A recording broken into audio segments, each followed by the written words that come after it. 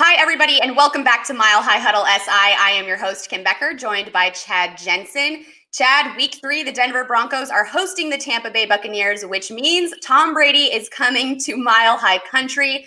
Now, Tom Brady has a losing record when he plays these Denver Broncos at their home. How are these Broncos going to pull out a victory against the Buccaneers and make sure that Tom Brady keeps that losing record alive?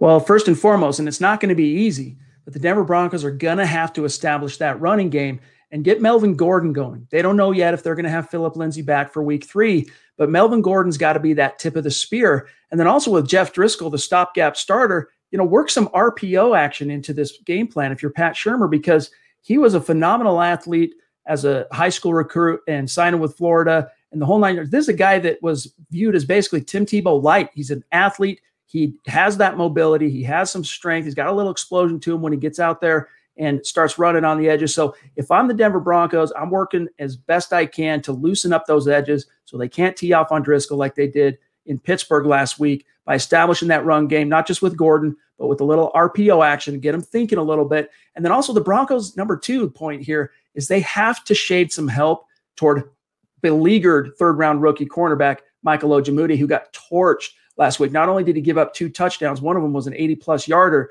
but he also dropped an interception in the end zone that was just a facepalm type of moment. And just like Ben Roethlisberger last week, Tom Brady is as established a veteran as it gets. He recognizes the chink in the armor. He recognizes the hole in the boat when it comes to his opponent, and he's going to be going after the rookie corners, especially Michael Ojemudia, out on the edge. So that means Vic Fangio and that uh, Broncos defense is going to have to figure out how to help and shade him, whether that's putting a little Justin Simmons over there and just not letting him run after Chris Godwin, who's just a, a speed demon. Let Bryce Callahan run after uh, run after Godwin and put Michael Ojemudia on Mike Evans, which is still a very stiff task, but you got to find a way to protect Michael Ojemudia. And then lastly, this is just one of those games that sounds cliche.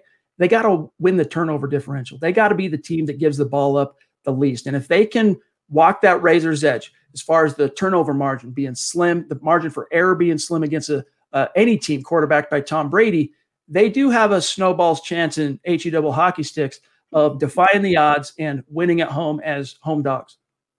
Well, there you have it. Three keys to a Broncos victory against the Buccaneers here at week three.